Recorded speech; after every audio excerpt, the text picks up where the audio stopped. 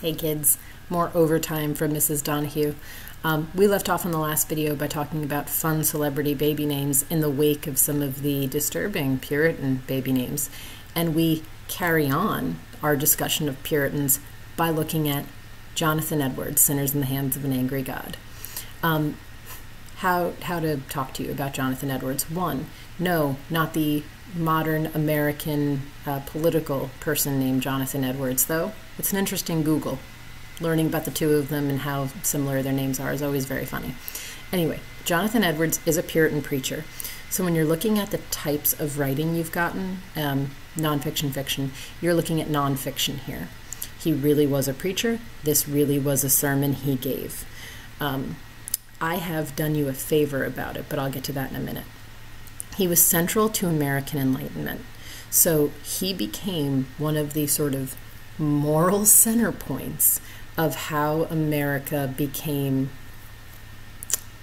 sort of intellectual again. We had a lot of people come to America who were not intellectual. And after we sort of broke everyone's back building cities, um, we then had to fill them with people, and then we decided those people should be smart. Um, and Jonathan Edwards is one of the ways that we get educated preachers and educated men into America. Um, an example of sort of early, well educated American men. Um, he died shortly after becoming president of Princeton. I like that. He's a local boy. Um, they, they tried to give a vaccine, but they didn't do it right, so he died. Um, he's actually the grandfather of Aaron Burr. Why does that come up? Because Hamilton's coming up on this PowerPoint later. And also, Aaron Burr, he is a really big Revolutionary War figure. He might not be very likable, but he's big, he's important. So, Edwards is his grandfather. Some of his important written works were, and the, the titles are long, that was just a thing but they were called things like God glorified it in the work of the redemption by the greatness of man's dependence upon him in the whole of it. Um, another one called A Faithful Narrative of the Surprising Work of God in the Conversion of Many Hundred Souls in Northampton, um, and Justice of God in the Damnation of Sinners. Sinners in the Hands of an Angry God is one of Jonathan Edwards' sermons. Think of if you go to church, think of how the sort of typical formula goes there's an intro by the preacher, thank you for coming. Then there's the sermon, which is the main idea of the lesson today, right? Like, this is the thing we're talking about, this central idea. It gets the most time, it's the most important thing a preacher does. Sinners in the hangry, uh, Hands of an Angry God um, goes on for, I mean, hours around three hours. If you have somebody reading it out unedited, you could be going for a long time, especially in the context of like a traditional church service, um, especially considering the fact that there's no microphones and stuff, and you'd be screaming this. You would be screaming it, not just because you would want people to hear you, that plays into it, but also when you read it, you, you don't read something like this quietly. I've seen some pretty decent um, performances of it, and everybody is always hoarse by the end of it. With this, I would like you to open up the document of Sinners in the Hands of an Angry God on Google Classroom.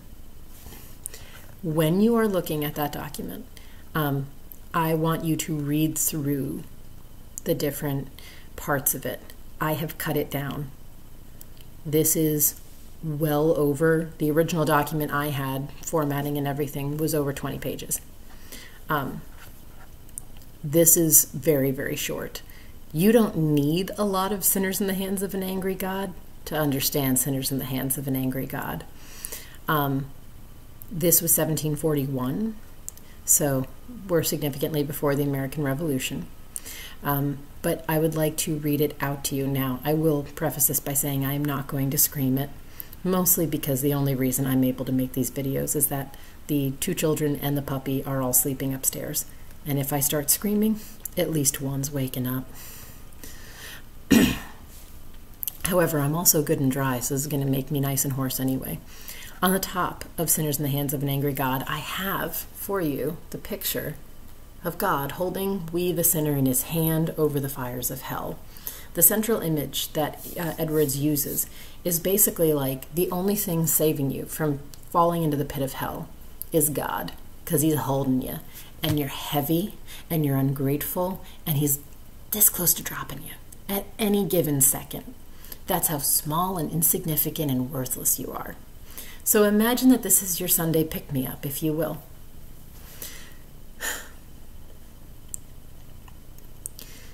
Your wickedness makes you, as it were, heavy as lead, and to tend downwards with great weight and pressure towards hell. And if God should let you go, you would immediately sink and swiftly descend and plunge into the bottomless gulf. And your healthy constitution, and your own care and prudence, and best contrivance, and all your righteousness would have no more influence to uphold you and keep you out of hell than a spider's web would have to stop a falling rock.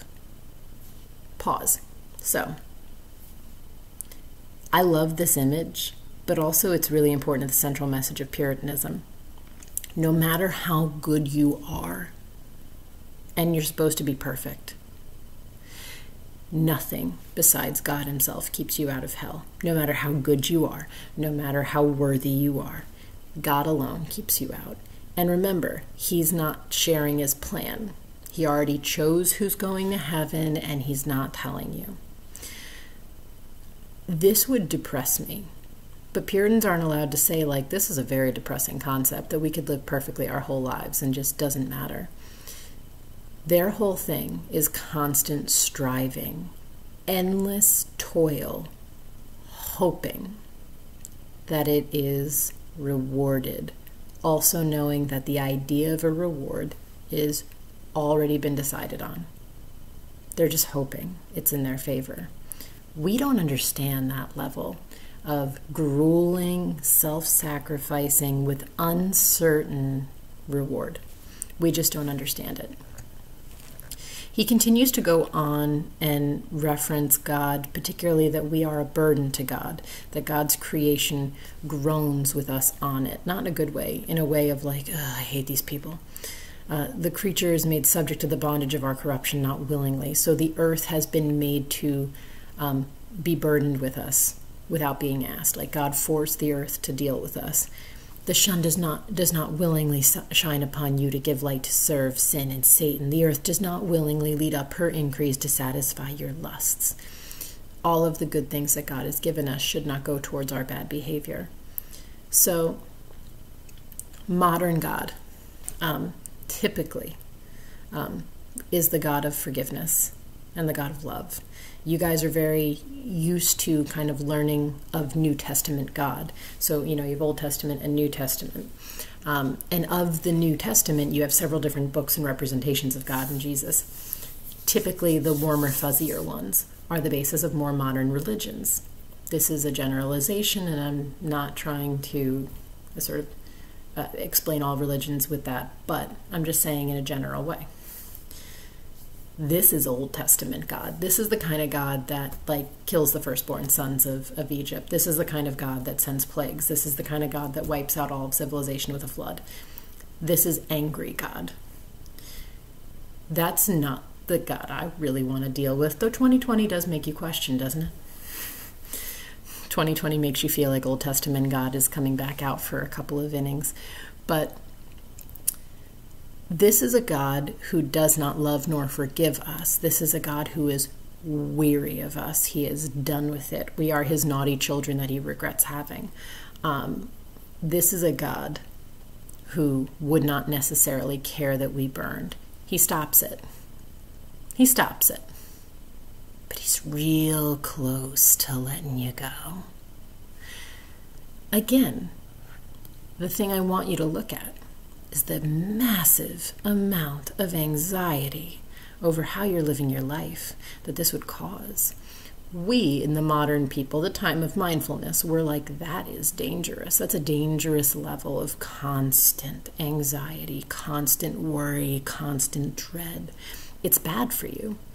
But this is how the Puritans lived all the time. In many ways, it is no small wonder that bad things happened. So, the next thing, the crucible. Now, I'll be honest with you, I'm really trying to figure out how to share the crucible in its whole text with you. The Crucible is based off the Salem witch trials. The Salem witch trials are real. The Crucible is a fictionalized event closely based on them. I say closely because, like, the names and stuff, and often many of the events are accurate. There's a few inconsistencies. Like, the main romance plot of, of Crucible is made up, but most of it is accurate. Um, it weirdly, the hybrid schedule may suffer Crucible to be lost because I don't know how I would share it with you given that it is not on one of the shareable platforms. But I can tell you all about Salem witch trials. So, the Salem witch trials. We said that coming to America for religious freedom, um, freedom from the persecution of England, freedom to kind of be as extreme as you wanted to be, it was a motivating factor for Puritans. In England, there was a sense that we had to root out witchcraft, but it simply wasn't as extreme as the sense that developed in America, probably from the nature of the religions, right?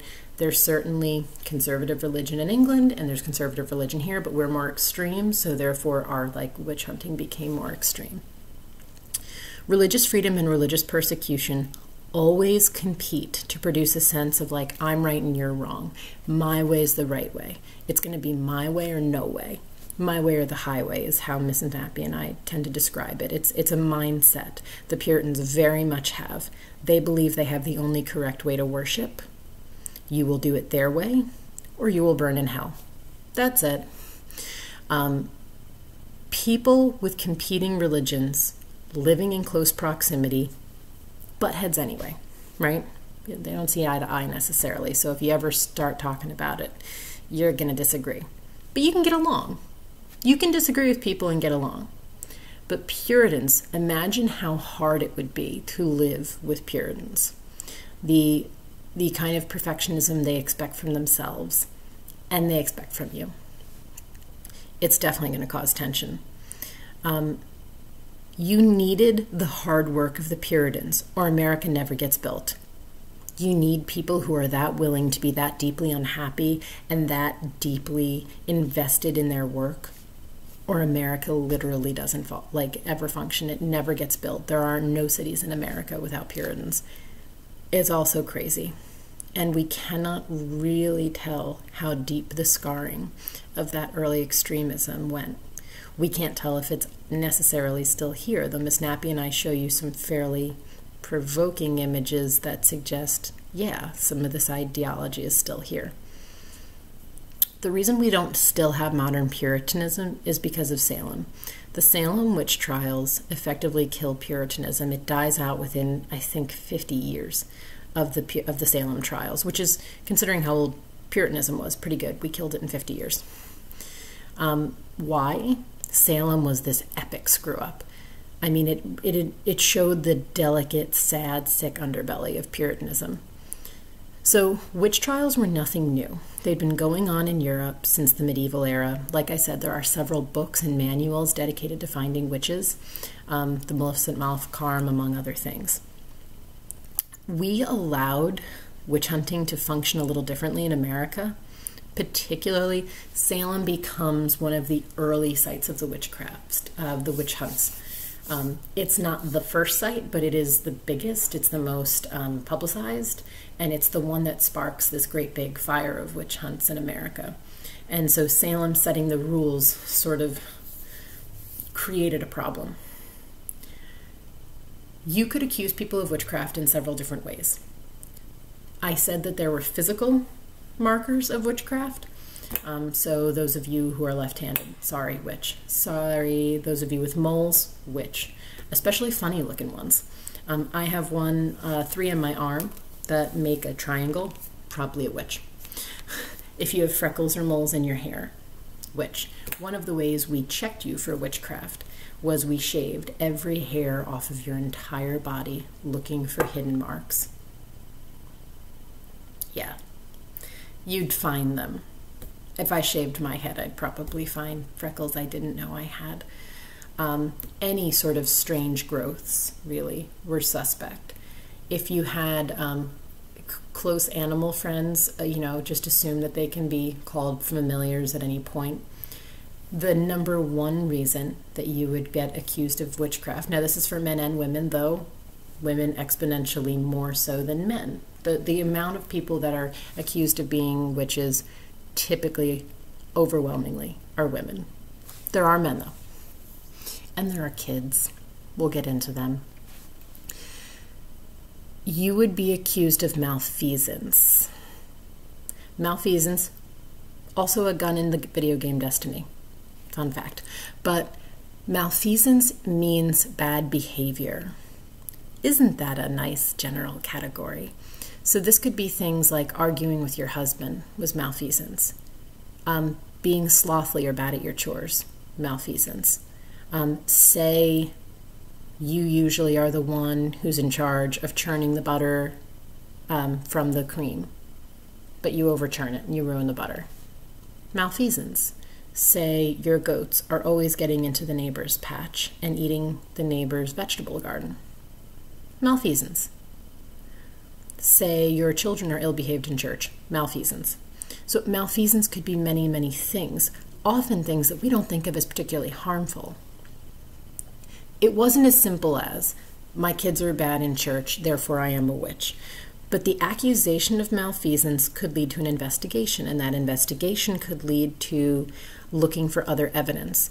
Um, sometimes women were accused of malfeasance, and they were just led on their merry way. Sometimes they were warned, um, and sometimes they then were found guilty of witchcraft. In Salem, a lot of factors started playing into how women were accused of witches and men. There were some notable male victims. Um, the first thing that became a problem in Salem was that spectral evidence early on became allowed and it had not been allowed in England and it was not allowed in other places. But Salem allowed it. What's spectral evidence? To answer that, we have to look at some of the conditions that created Salem, like how the, the accusations of witchcraft began. But let me look at other things that were sort of contributing factors to Salem being really bad, generally speaking. Um, the way we tested witches in general lends itself to finding witches. So you have your first problem here. One of the ways you can test a witch is it was called drowning a witch or um, flying a witch. So you would tie a weight to someone's feet and throw them in water. And if they drowned, they were not a witch. And if they rose to the top because they were a witch, then we took them out of the water and hung them.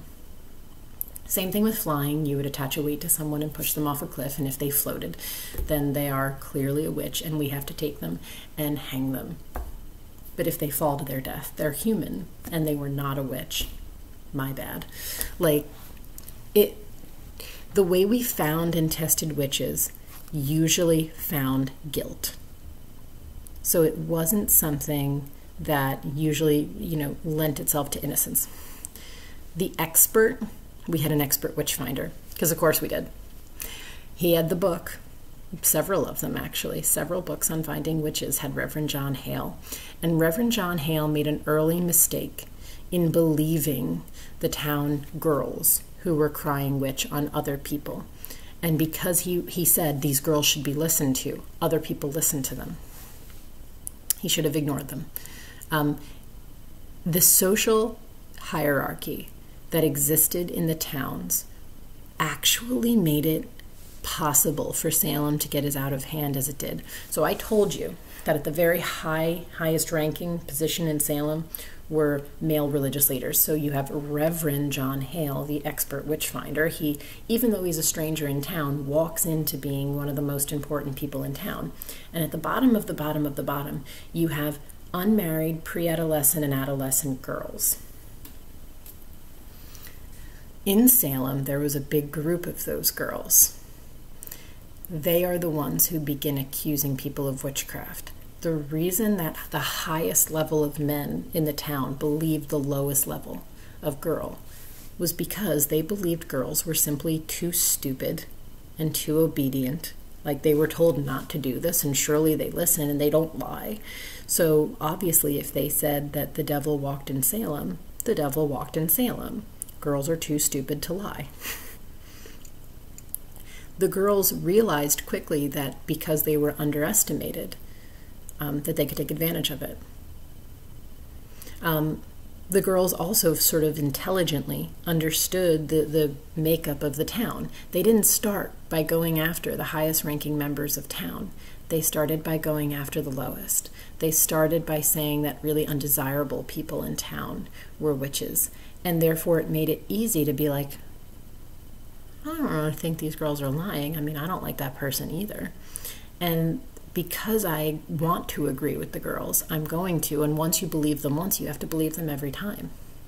It was a really short time frame, so even though Salem was terrible, it was only terrible for a couple of months, and we killed a lot of people. Um, some men clearly also understood that the girls were lying and weaponized them. They understood that the girls were weaponizing themselves and they got in on it.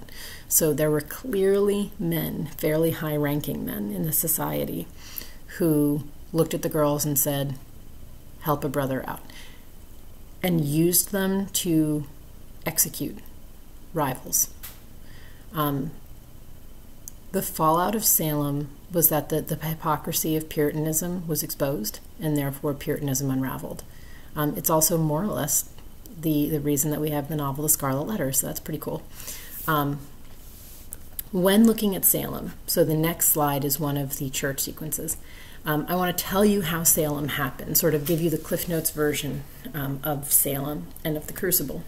So I said the lowest ranked members of a society, especially of this society, were the girls. Now, this doesn't stop them from being human, but they live in a society where dancing, playtime of any sort is not allowed.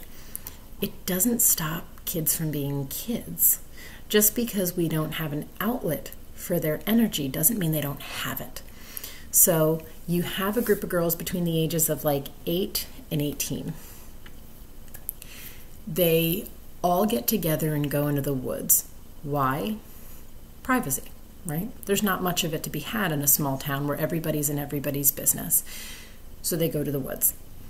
Um, one of these girls is the daughter, and one is the niece of the town reverend. So the town reverend's the highest ranked member of the town, and he was a kind of controversial choice. The Puritans loved him, but a lot of the non Puritans didn't like him.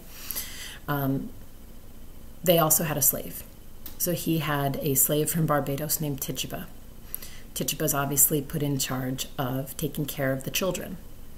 So the kids are in the woods, Tituba's probably half watching, half not watching, because the girls do have the ability, even though they're children, to sort of give some order to Tituba. Now, it, it, what we have from records suggests that Tituba, in taking care of the girls, played with them. She's not Puritan. She might be Christian, but she's not Puritan. So she plays with them, she tells them stories. They need this, but also it's terribly against their society. Also, girls gossip. Probably boys too. I don't know. But the little girls start telling their friends some of the stories that Tituba tells them, some of the games that Tituba teaches them.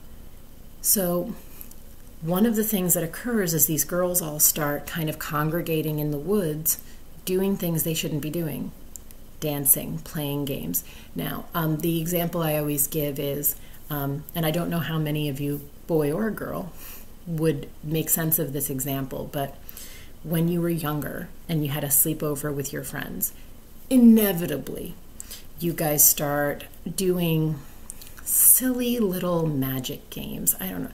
They're popular to a certain age. Like the same time you start reading books like, you know, Twilight is the same age that you start going like we should really get a Ouija board out and see if we can like talk to grandma or we should really get out like egg yolks and needles and see if we can suspend the one and the other and it'll spell the first initial of the boy we're going to marry. Does any of this stuff work? No, of course not. But like you start kind of looking for your own power and whether or not it actually goes into the universe and the universe can talk back to you. It's a growing up thing, it's an adolescence thing, it's perfectly normal. But they don't obviously understand that the fact that the girls go into the woods and essentially do harmless little magical charms where they ask questions like, Who will I marry? It's very dangerous to Puritans. Normal to us, silly to us, but like dangerous to Puritans.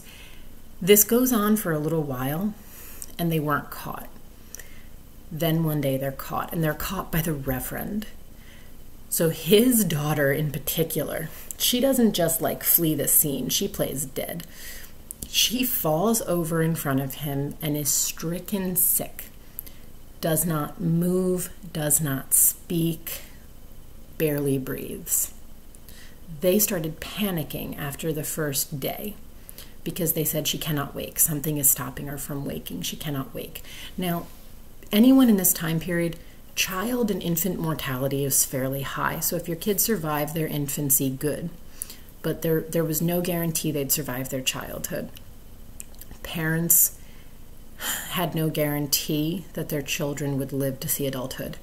And this disproportionately affected, obviously, women who were the central caretakers of the children but also there was no predicting who it would hit.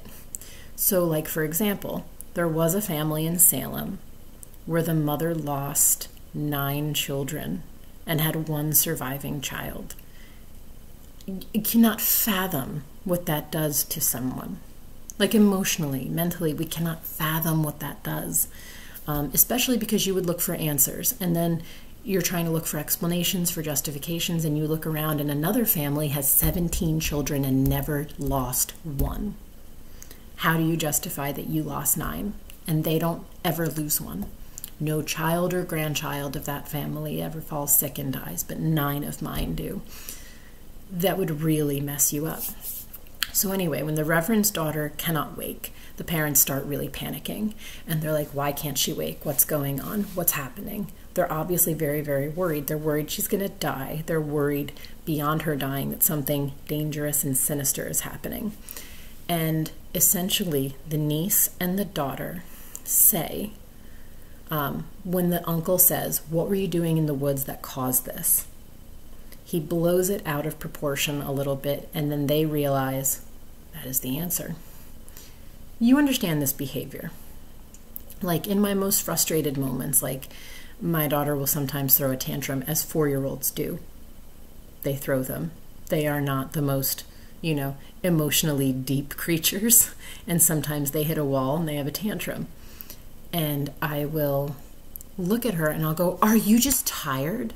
And then she'll look at me and go, Yes, I am tired. Is she tired? No, she's a liar. But she heard me give her the answer, right? I said the answer that, like, I suppose I will accept, right? Are you tired? Yes, I am tired. If that's going to be the reason you don't yell at me for having a tantrum right now, yes. Yes, I am tired. The girls pull this on the reverend. He goes like, "Were you doing magic in the woods?" And they're like, "Mhm. Yes. Yes, we were." But we didn't invent it, Tituba did. We weren't doing magic, Tituba was. Sorry, didn't know if I heard a baby. Um, so Tituba gets accused of being a witch. Now, Tituba is a slave. She is black. She is the lowest member of society. They instantly converge on Tituba and they're like, hang on. So, the girls blame Tituba. Tituba is actually quite intelligent. So, when Tituba starts being beaten to the point where she's kind of worried she's going to be killed by the men in town. And they say, Do you serve the devil? She doesn't say no, because that's not the answer they want to hear. She goes, Oh, yeah, I serve the devil. And by the way, so do three of you. And the men in town were like, Oh my God, there are three more witches in town. She goes, Three that I could see. There could be more. Who knows? This is the smartest woman of all time. Tituba's amazing. Puppy needs to go take a pee break, so be right back. Now, the girls. Um, Abigail was the niece, and Betty was the daughter. Abigail and Betty are now angry because they thought that they were dodging getting in trouble by blaming Tituba and crying witch on Tituba and saying Tituba was a witch. And then when Tituba figures out that she can be like, yes, totally a witch, do not kill me, I will point out the others to you.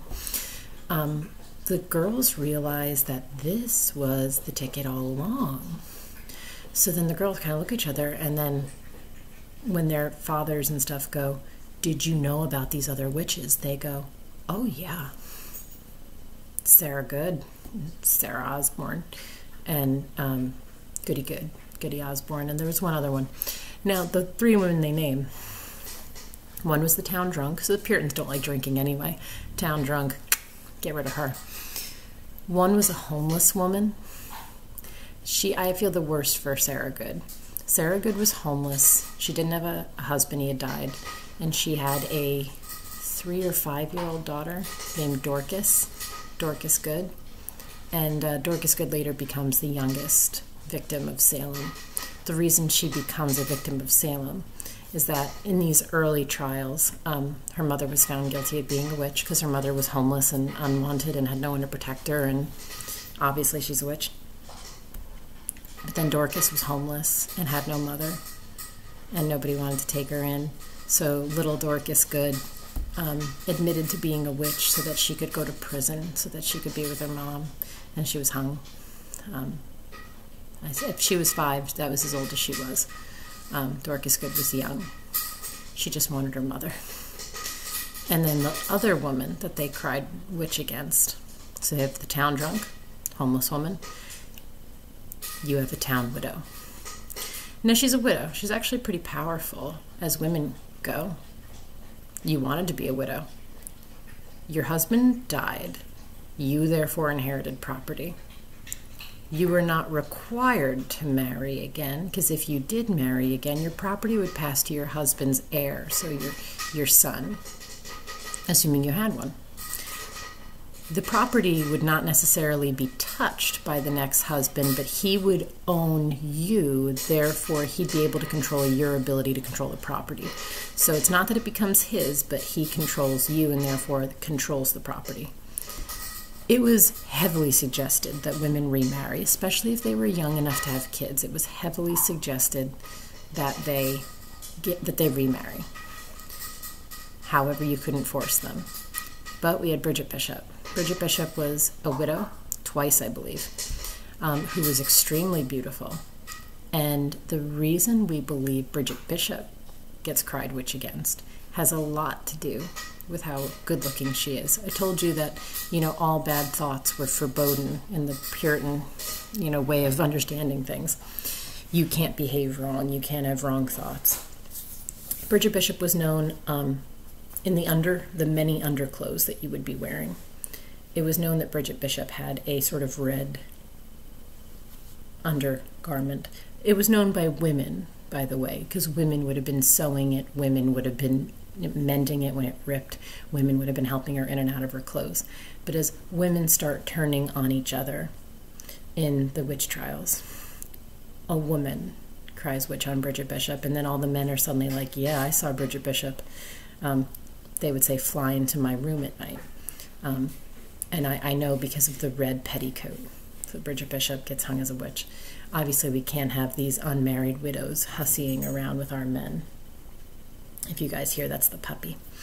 Um, good girl. So, as the girls, the young girls, realize that they can cry witch on people and they get attention, they are listened to. This is about as powerful as they've ever been in their whole life. Um, they start upping the ante and upping the ante. They start going after different people and they start closing ranks among the girls. So there's a group of about a dozen of them um, between 8 and 18 and it becomes a mean girl clique that has deadly power. The only thing that eventually stops them is that they go after ministers' wives. And the ministers eventually go, I think you're mistaken. Now, I said something about spectral evidence. Spectral evidence bears explaining. So the girls were allowed to claim harm from witches without any physical proof from the witch. So, for example, I am Abigail Parris. Um, I am telling you that Bridget Bishop has um, harmed me, and Bridget Bishop goes, I was home in bed. And Abigail goes, Not you, your spirit. Your spirit has harmed me. Your spirit left your body, flew through my window, and pinched me all night. And then Abigail lifts her shirt, scandal. um, and shows the pinch marks. She pinched herself, clearly, but she lifts her shirt and says, No, no, no, your spirit pinched me. Your spirit bit me. Your spirit scratched me. Um, I was up all night hearing somebody say these things in my ear. I know it was you. I know your voice. So these were the types of behaviors that were permitted in Salem, not permitted many other places. Spectral evidence was seen as a shaky form of evidence. I wonder why. Now, also, the girls would do things in the evidence chamber. So, this is how court looked. You had judges sitting up on a big table, and you had um, men and women in the audience, and then you just had the, the accused directly talking to the judge. There was no lawyer talking on their behalf. Um, I'm going to have to pause this for the night. More tomorrow.